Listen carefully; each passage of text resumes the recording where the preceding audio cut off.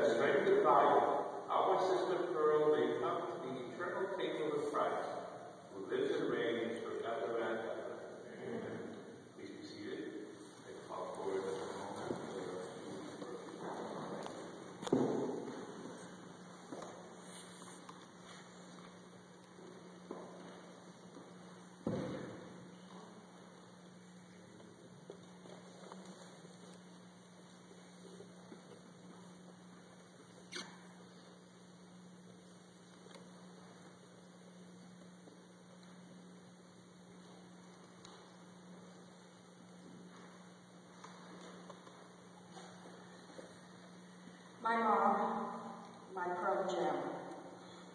Your mansion is now ready. The darkness has turned to light. You're in the arms of your Lord where everything is right. No more pain, no more fear, no more hurt from man. Although his ability didn't always choose, he embraced your willful plan. But all things work together for those who love the Lord. There leaves no doubt in my mind you are in one accord. He took things bad and made good come because he loved you so. Despite the fact you could not see all that you now know. Our God is a good God and knew you from all time. He had to pick you out a minute as a mother to be mine. If I would have had my pick of any mom for me, without a doubt it was you, it had to be. You made mistakes from time to time, as mothers often do. Still, you would have been my pick just because you were you. I'm sad and I'm lonely because you're gone from me, but I also know that I'll be there, for God doth hold the key. I'll try to become all I've learned from you, my precious mother, for you are God's only gift to me and are unlike no other. Pray for me, my mom and gem. Help keep me in God's grace. For one day I will be with you because I too the race. God bless you, Mom, and thank you, God, for forgiveness and for love. Please hold my place next to you, my Mom, with you on God, when you run high above. I love you.